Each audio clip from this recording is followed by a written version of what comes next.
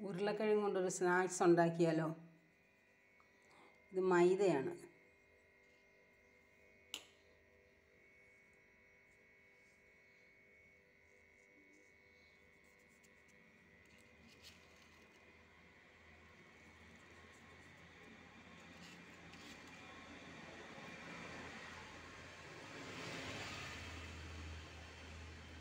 Baking പൗഡറാണ്.